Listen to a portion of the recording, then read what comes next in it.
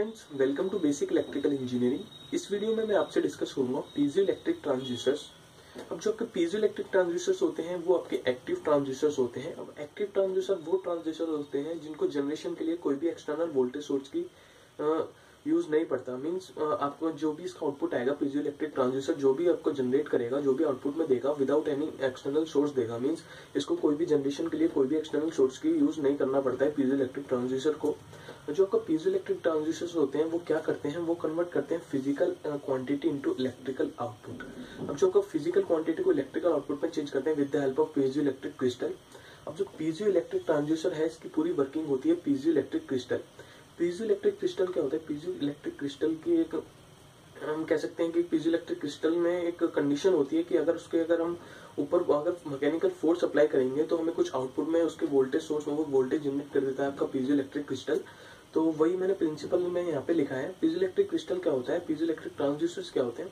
If the dimension of the crystal are change by the application of the mechanical force a electrical potential appear across the surface of the crystal this potential is produce by the displacement of the charges and also if the varying potential is applied to the dimension of the crystal it may change the dimension of the crystal by deforming it this is called the piezo electric effect अब piezo electric effect क्या होता है? Piezo electric effect means अगर ये आपका कोई piezo electric crystal है तो इसका प्रिंसिपल होता है कि अगर आप उसके ऊपर मैकेनिकल फोर्स लगाएँगे, उसके जो दो एंड होंगे, अगर उसके ऊपर आप मैकेनिकल फोर्स लगाएँगे तो क्या होगा, जो उसके जो हमारे इलेक्ट्रोड वाले एंड होंगे, जो उसके अपोजिट दो एंड्स होंगे, उससे हमें आउटपुट मिलेगा। और कहते हैं कि अगर हम इसके आउटपुट इधर अगर वोल्टेज सोर्स से हम इसको इनपुट दें तो जो इसकी जो डायमेंशन है, वो चेंज आएगा तो इस इफ़ेक्ट को कहते हैं हम पीजो इलेक्ट्रिक इफ़ेक्ट वो मैंने आपको डिटेल में यहाँ पे लिखा है। कि एक होता है कि जब हम इनपुट देंगे तो इसके डायमेंशन में चेंज आएगा। अगर हम इस क्रिस्टल के डायमेंशन को चेंज करेंगे तो उसके दो एंड से हमें आउटपुट मिलेगा। ये होता है आपका पीजो इलेक्ट्रिक इफ़ेक्ट और पीजो इलेक्ट्रिक इफ़ेक्ट पर ही आपका पीजो इलेक्ट्रिक ट्रांजिस्टर वर्क करता है। अब पीजो इलेक्ट्रिक क्रिस्टल किस टाइप्स के होते हैं? पीजो इलेक्ट्रिक क्रिस्टल्स के यहाँ पर मैंने कुछ नेम लिखे हैं। एक होता है क्वार्ट्स टोपेज लिथियम सल्फेट आपका स्टेमिस A and B ammonium dihydrogen phosphate तो ये कुछ आपके पीजो इलेक्ट्रिक क्रिस्टल हैं। इनकी एबिलिटी होती है कि अगर इस पे अगर आप फोर्स लगा के इसके डायमेंशन चेंज करेंगे तो उसके दो आपके जो एंड होंगे, उनसे हम वोल्टेज आउटपुट ले सकते हैं।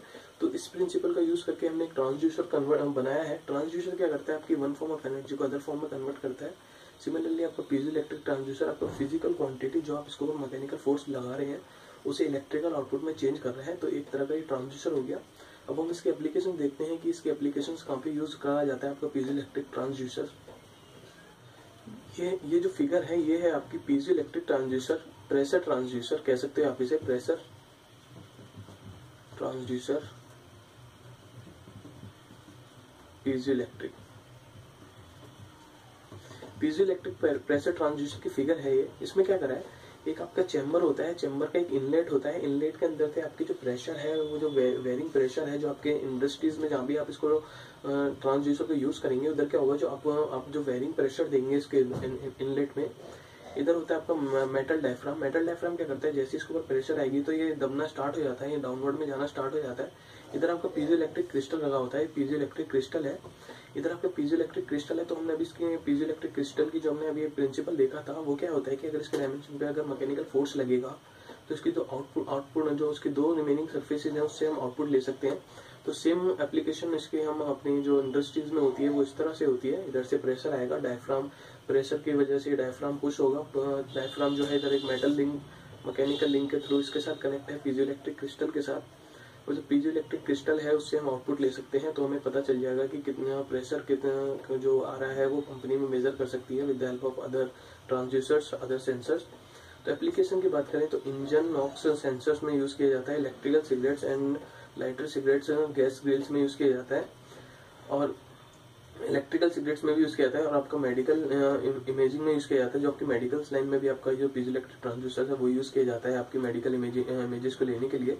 सोनार इक्विपमेंट में यूज़ किया जाता है। तो सोनार इक्विपमेंट क्या रहता है? Which transmit and receiving the sonar wave तो जो सोनार इक्विपमेंट्स होते हैं, उसके अंदर भी आपका जो पीजो इलेक्ट्रिक ट्रांसड्यूसर है, वो इंपॉर्टेंट रोल प्ले करता है तो ये था आपका पीज इलेक्ट्रिक ट्रांसड्यूसर तो अगर आपको वीडियो अच्छी लगी हो तो हमारी इस वीडियो को लाइक करें, हमारे चैनल को सब्सक्राइब करें, और अभी तक आपने अगर हमें इंस्टाग्राम पर फॉलो नहीं कराए तो इंस्टाग्राम पर फॉलो कर सकते हैं basic electrical engineering thank you